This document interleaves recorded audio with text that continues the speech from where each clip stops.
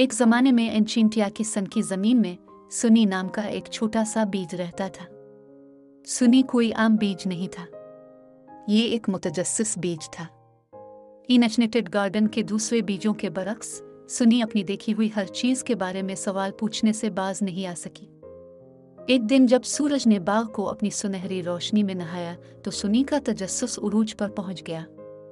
उसने अक्लमंद पुराने बलूत के दरख्त की तरफ़ देखा और पूछा प्यारे बलूत के दरख्त, तुम इतने लंबे और मज़बूत क्यों हो?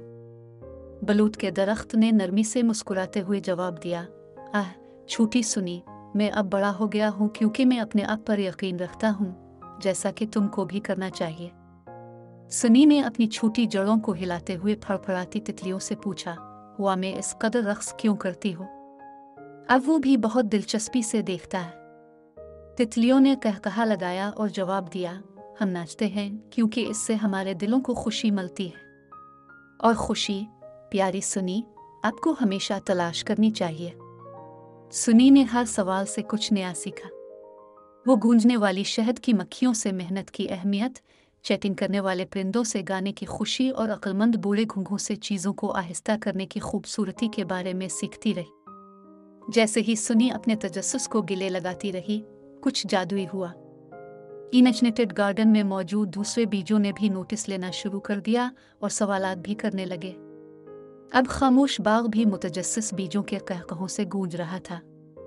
एक दिन, एक तूफ़ान ने एंचिंटिया का दौरा किया। इसके साथ तेज हवाएँ और तेज बारिश हुई। जबकि दूसरे बीज खौफ से हिचकोले खा रहे थे, सुनी मज़बूत खड़ी थी। इसकी जुड़े मजबूती से ज़मीन में लंगर अंदाज थी। तूफ़ान गुजर गया और सुनी की बहादुरी पूरे बाग के लिए एक तहरीक बन गई। दी इनचनेटेड गार्डन सीखने और नमू की एक मुतहरक पनागा में तब्दील हो गया, ये सब कुछ सुनी कसस सेट की बदौलत है। सुनी का नाकाबिल तस्खीर तजस्स न सिर्फ़ इल्म बल्कि बरदरी में इतिहाद और ताकत भी ले आया था। और इस तरह इंचिंटिया के दिल में मुतजस्सिस बीज ने सबको सिखाया कि सवालात पूछना और इल्म हासिल करना ही अंदर के जादू को खोलने की कुंजी है। इस बाग को यकीनी बनाना जो लाजवाल हैरत और खुशी से भरा हुआ है।